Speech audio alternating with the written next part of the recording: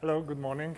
My, my name is Gergely, and uh, I will be talking about uh, cooking Eclipse plugins. I don't know if you heard my uh, um, pitch uh, in, in, in uh, before the keynote, but did you bring Cucumber with you? No one? Or at least uh, how many of you have Cucumber installed on your laptops or computers? No one? Okay. Okay, at, at least uh, I will probably say something new today. Um, so first, what I'm going to talk about. Um, a quick introduction, why are we building uh, an Eclipse plugin at Migeran, and uh, how is this a success story for us? Um, then I will talk about uh, the ingredients that we use to, uh, to make sure that our plugins work uh, correctly and according to, to uh, uh, what we want them to do. And uh, at the end of the talk, I will also provide a quick demonstration of what we do in terms of testing. Um, so about me, I, I'm worked in the past 10 years mostly in the mobile space. Uh, I started when we were still laughing about uh, phones being smart, and look where we are now. Um, I did a lot of platform development, first at Siemens and, and then uh, other companies uh, um, importing Android, for example, to new hardware. And uh, of course, app development, a lot of platforms. and we do cross-platform app development at, at our consulting business and uh, started Migeran as a spin-off last year. Um, I also uh, worked in embedded Linux and, and some excursions to enterprise applications. Uh, but what's most important, I'm a loyal Eclipse user since 2002, and I plan to continue being uh, an Eclipse user in the future as well.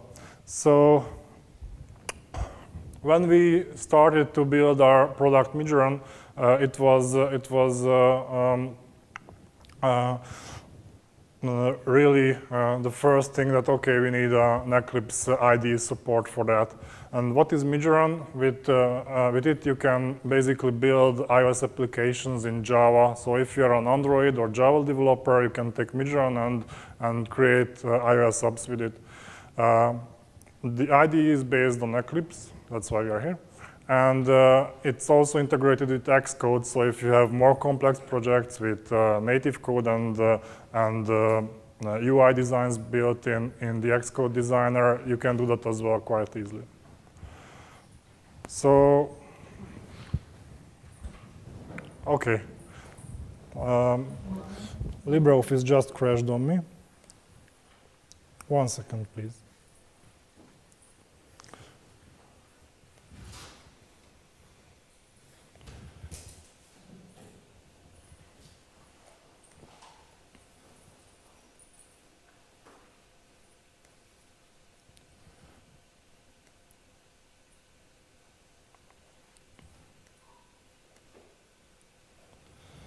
So good morning. My name is Gergely Kis. no, uh, let's let's skip the first part. So uh, I'm I'm going to talk about the success story, but I'm I'm not going to tell you any fairy tales. So there were problems. Uh, we we made mistakes, and what I will tell you is how we went from from zero tests to to automated acceptance tests uh, uh, in our plugin. So in the beginning, of course, when you start a, new venture, you usually build a, a, prototype and you try to validate the business case for it based on that prototype. And when you do that, you, you, uh, you are not uh, uh, focusing on quality, to be honest. It's not, it's not a good thing, to, that, uh, but that's the reality. We are focusing on will it look cool in the, in the demonstration and not uh, how will we maintain that later. So the, when later we started to doing real releases, even if these were internal uh, releases for a private testing phase, uh, first, uh, we didn't have any automation for, for acceptance tests. All acceptance tests had to be done manually. And this resulted uh, in long QA cycles and stress mostly on my part because I was stressed that uh, uh, the developers are, are, basically doing things that uh, computers should. So what we had at this point, we had of course unit tests, uh, those are standard, those were automated by the CI server, uh, but we didn't have uh, acceptance tests automated. And, and mostly in this talk, I will talk about acceptance, acceptance testing of, uh, of uh, Eclipse plugins. So what we needed is uh, automated acceptance tests and tests that were created by the development team because we think that uh, uh, it's a crucial thing to, to involve uh, the developers also in the, in, the, in the acceptance testing phase to make sure that uh, uh, basically they, they, they use uh, formally what, what they built. Uh, so we uh, started using SWTBot. SWTBot uh, is, a, is an Eclipse project. how many of you know SWTBot? Oh, okay. So let's keep this. for, for the one people or the one person who doesn't know SWTBot, uh, you can write UI tests uh, uh, with a beautiful Java, Java API. Um, it integrates great with JUnit and Tycho. And it's, it also includes an, an integrated test recorder uh, that uh, you can use to start building tests quickly, but uh, usually um, um, in our experience, once you know the API, it's uh, much faster to, to build it by hand instead of the test recorder because usually the output of the test recorder has to be um, customized anyways. So our UI tests are automated now and we um, build them by the hundred.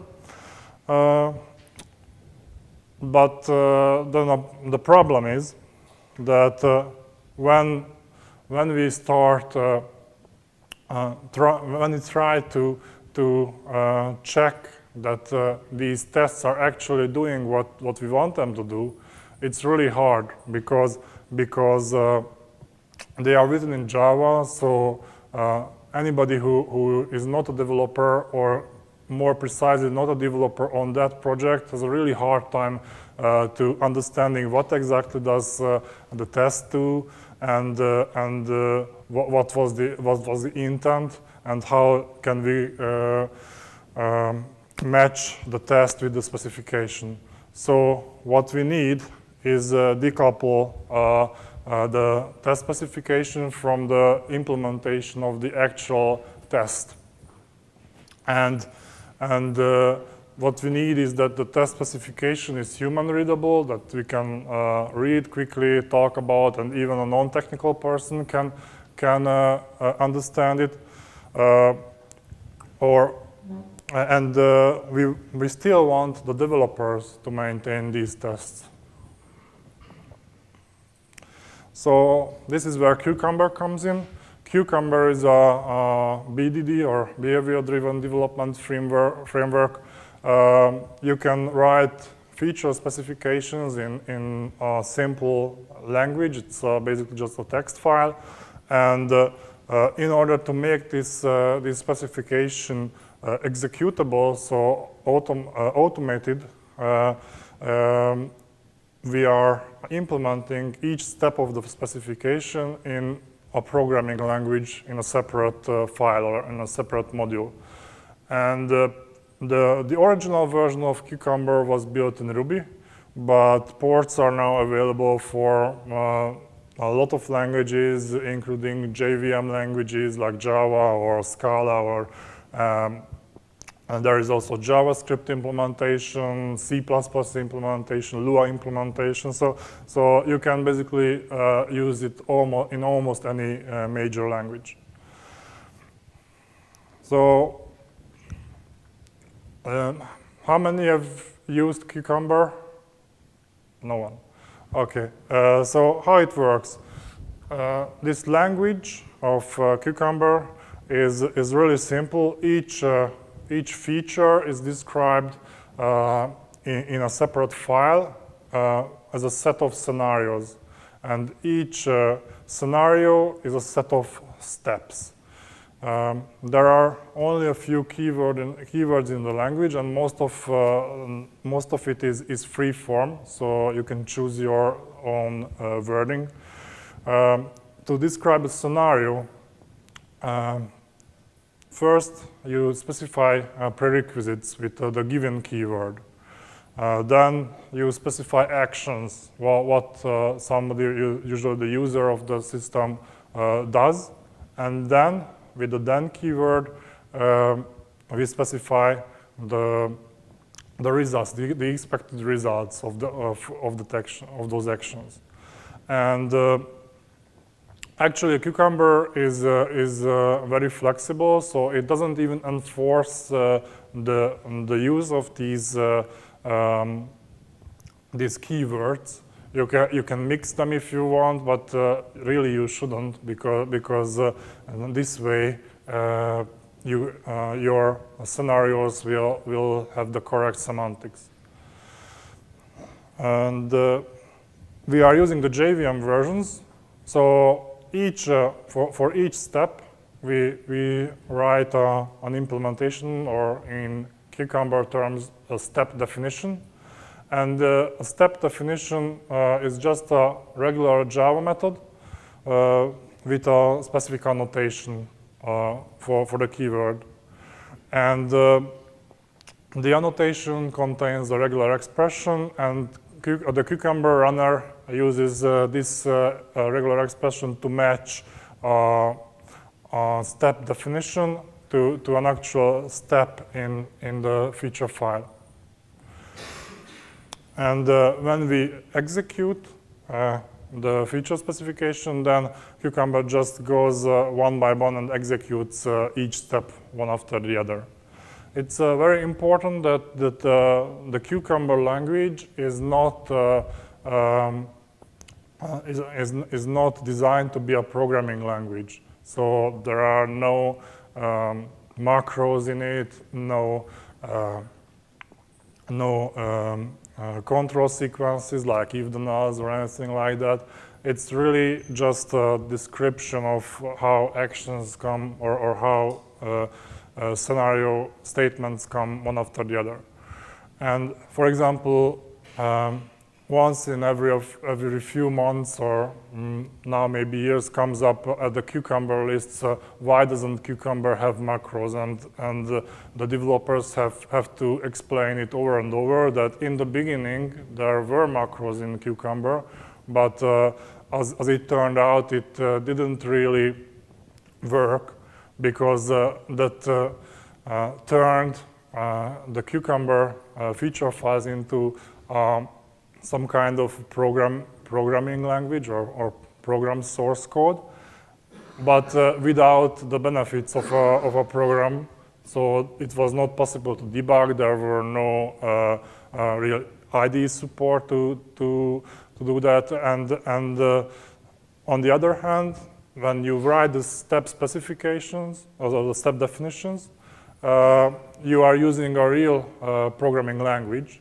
So if you have some complexity that you have to uh, uh, manage, then you have to put those in, into the step uh, specification or definition.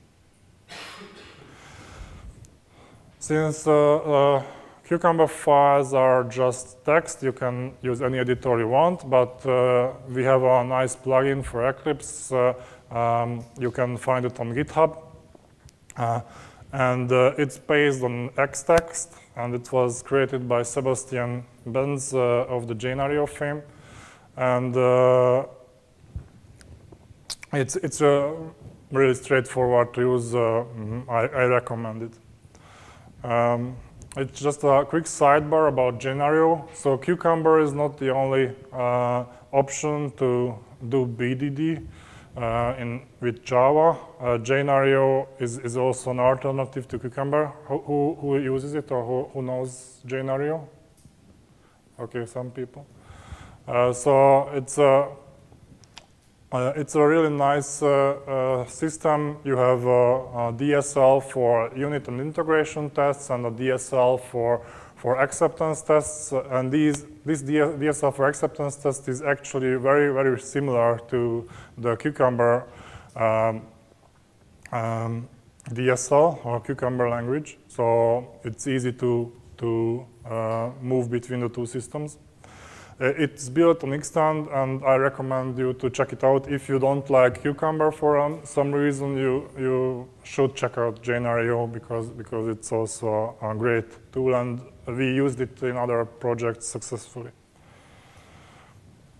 So now we have two tools, SWTBot and Cucumber, and uh, we are using them together. In order to do that, we had to create an SWTBot runner for, for Cucumber um, so that uh, we can use the SWTBot uh, uh, system from uh, Cucumber itself. We plan to upstream that uh, to Cucumber, so it will become a Cucumber module. And uh, of course, it can be executed from Eclipse with the standard JUnit uh, runner, and uh, it also works with uh, Maven and Tycho. So it's uh, really nice to use. And now, with, with these tools, we have basically decoupled our acceptance tests.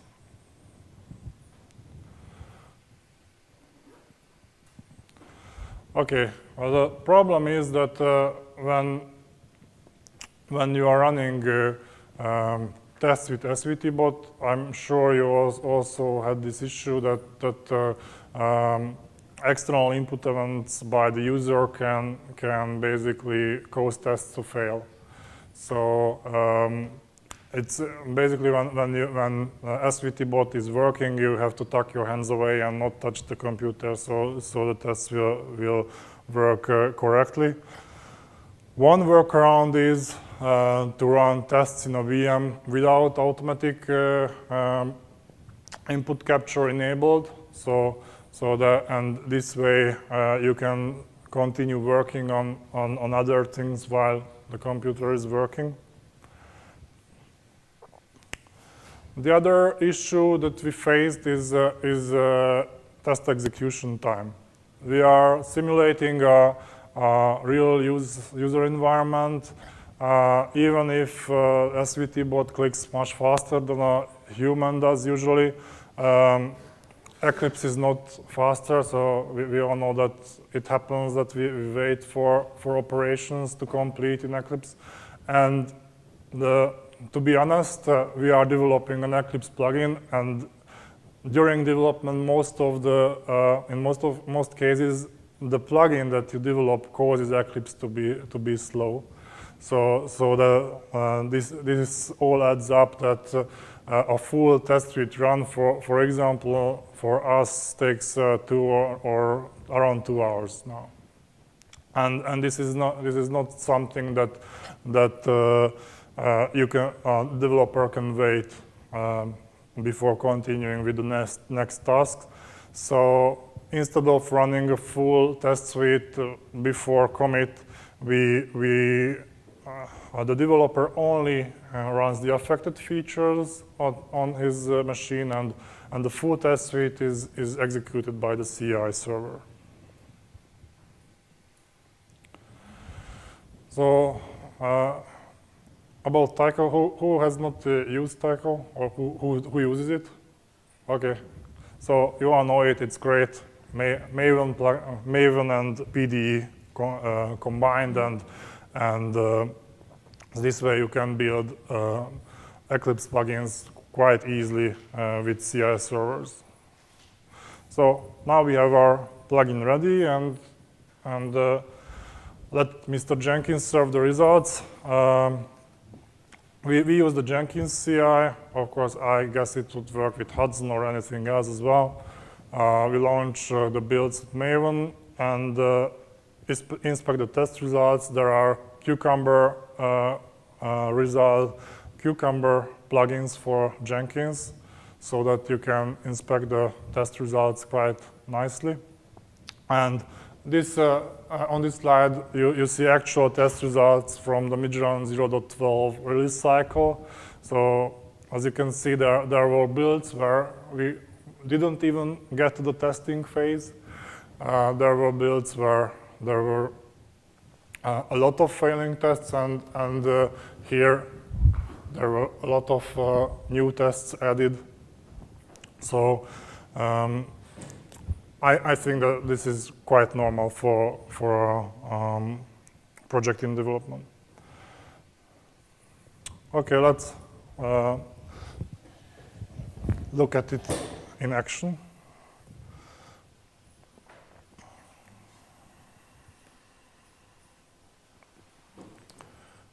Okay.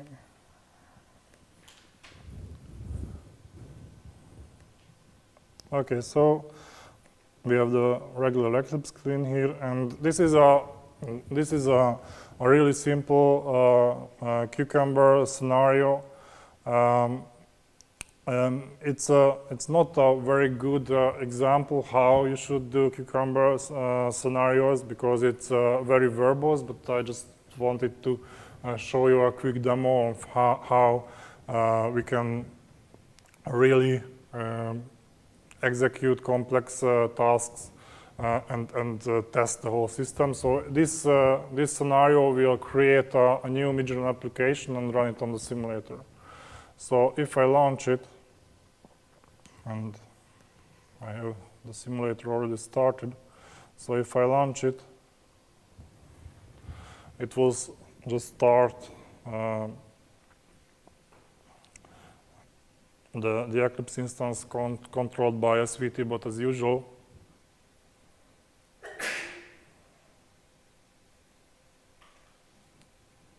create the Migeran project.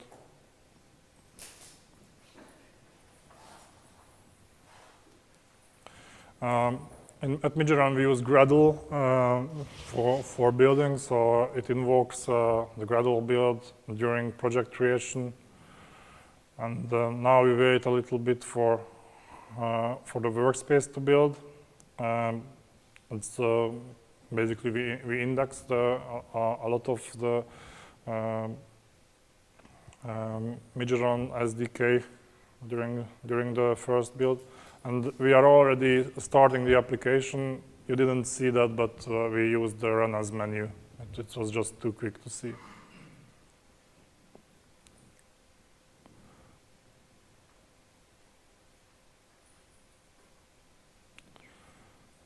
And for the first start is a bit slow because uh, we have to compile the whole uh, world, or basically the whole Java world to native code to run on the on the iPhone.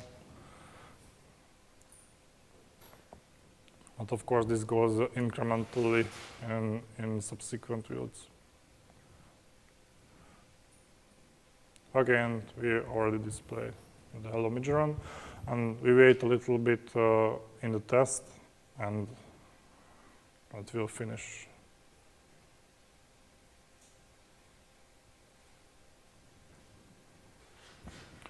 Okay, and uh, here you can see that uh, the features um, appear from the from the Genario file the same way uh, as they would uh, with a with a normal JUnit tests. So so each uh, each uh, step in a scenario uh, looks like as if it's it's it's its own JUnit test. Okay, basically that was the demo and uh, if you just go back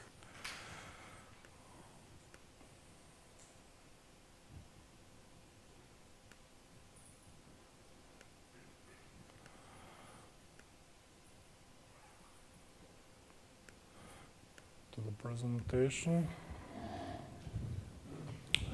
So um, this is the journey that uh, um, uh, I showed you uh, so far, but uh, tests uh, are still created after the fact. So we do the specification in, in our project management system and, and uh, the, the features are still created after uh, so the next step for us is to, to migrate to uh, true BDD, so true uh, um, behavior-based development. So first we will create or specify the new features in, in Cucumber and then write the code and, and of course the, the tests uh, uh, using the uh, Cucumber language. So thank you. If uh, you have any, any uh, questions, I, I'm happy to answer.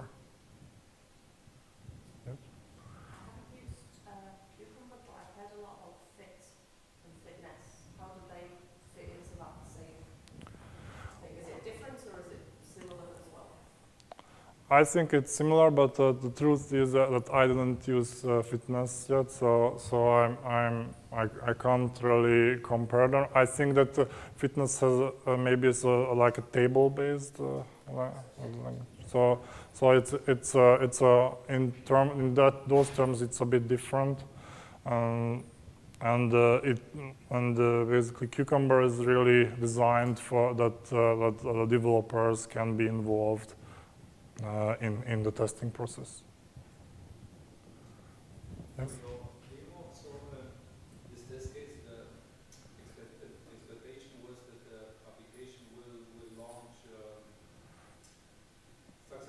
Yes.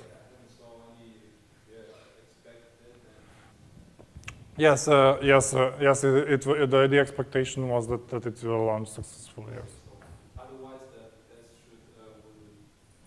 Yeah, the, the, the test would have failed. So basically, uh, uh, when, when, you, when you create your, your step definitions, in, those step definitions that uh, uh, expect something, you can just use the standard JUnit assertions, for example, or throw an exception if, uh, if, uh, if what you expected didn't happen. So if, if uh, we, test that uh, test that the simulator was started and that the application is running on on the simulator. If it doesn't run on it, if, if it's not running, then we, we throw an exception and, and the test will fail like it would fail in, in our in our JUnit test suite. Yes? I'm working on a project in that cool prototype phase mm -hmm. Mm. How much time do you think are you spending on test development, test definition, and things like that? 20% or less? Well, uh, mm, as much as you can, basically, because because uh, what uh, what I what my experience is that uh, that uh, uh, when when you are starting a new project, you are always very resource bound. So so you have very uh, constrained resources and, and you have to uh, um, try to, to find uh, a way to do everything. So um, your question was about um, testing after the prototype phase or during the prototype phase? No, you said during the prototype phase we do not do a lot of testing. Yeah. Yeah. Mm -hmm. But right now in the phase where you are, mm -hmm. How many developers are working on testing and how much is it compared to the development team? Mm -hmm. Well, um, all of our developers work on testing because uh, they they have to write the tests also for the for the features that, that they write. But uh, I would say it's uh, it's about uh, uh, 30 30 percent of, of their time to to do tests or to to create these test automations. And what, what is uh, important that that um, writing these tests uh, is not a one-off job, so you have to maintain them as well. Because, because and, and uh, each time that you change your application and if the APIs change, the implementation mm, changes, uh, or even in, in the UI case, just you change how the UI looks, you have to adapt the test cases as well. So when you, when you uh, plan for any change, uh, in, the, in the effort estimation, you also have to um, include the, the, te the, test adaptation time. Yes?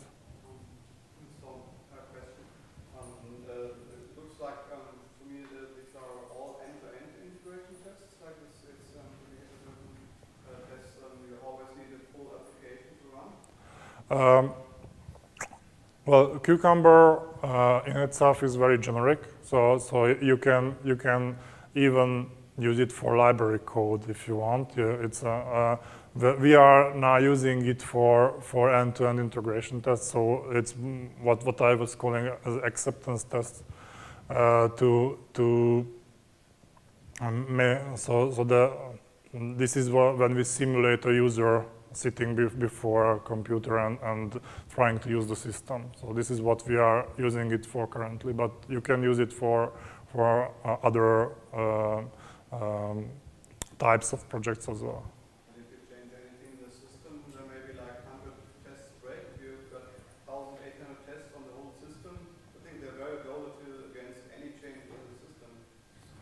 Um, well, it depends on how, how, you, how you implemented the, the step definitions.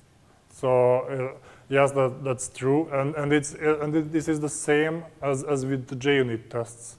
So, the, so if, you, if you change the API, um, we, um, on, for, for which you have JUnit tests, you have to rewrite the, or change the JUnit tests as well.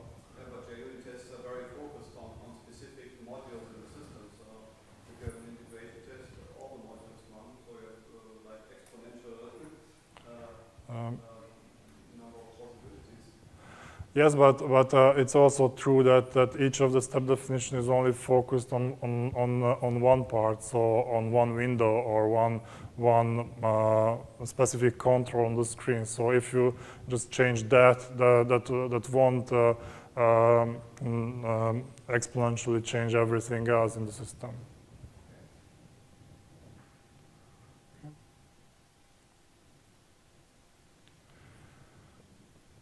More questions? Uh, then I, I have uh, one more thing to add that, that I didn't in, include in the slide. So is, is our, when we are uh, writing uh, um, such UI uh, tests, it's, it's always a, is a, a, question, how gray is our black box, so to say. That, uh, of course, the uh, the ideal way would be that it would be a black box test and, and the test would only uh, uh, look at what, uh, what, uh, what the user would see. But uh, this is not always the, or I would say it's never the optimal solution because, because for example, um, um, in most cases, it's much faster to check with an API call whether a project was created, for example or to, to create a, um, a predefined state for a scenario, it's much faster to uh, uh, to use the, the Eclipse API calls to build, build up a, a workspace state instead of just uh, uh executing basically the same uh, uh, button clicks as you would in a, in, in a scenario itself. So, so and th this way, it's it's uh, it's really not black box testing, but gray box testing. It's uh, and it's always a balancing act uh, between what what what we are really uh, uh, doing uh, with the UI API, so with with SWTBot, and what we are testing using the or, or using from the Eclipse API. So that that's something that that we are still trying to to get right but it, it's an ongoing process in, a, in every project. So thank you very much for, for your attention.